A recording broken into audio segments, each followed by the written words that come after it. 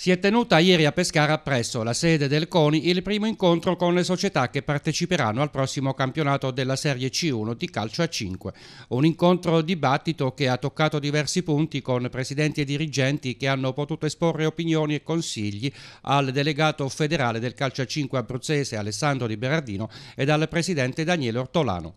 I dirigenti federali hanno annunciato importanti novità e progetti che ci saranno nel corso della stagione, soprattutto verso il settore giovanile, dove saranno istituite per ogni provincia delle figure specifiche che si occuperanno esclusivamente dei giovani primi calci, pulcini ed esordienti, con tornei organizzati direttamente dai comitati provinciali senza passare più dai comitati regionali.